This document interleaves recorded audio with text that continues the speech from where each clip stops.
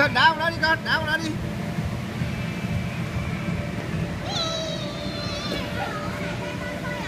Rồi, go.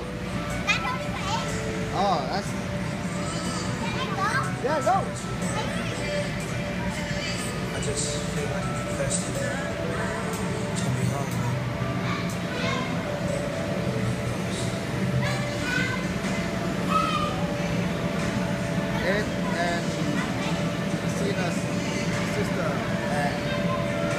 that.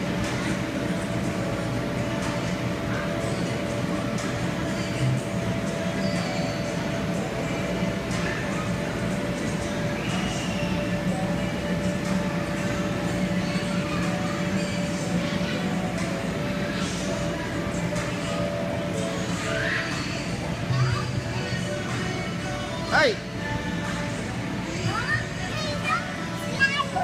Yeah.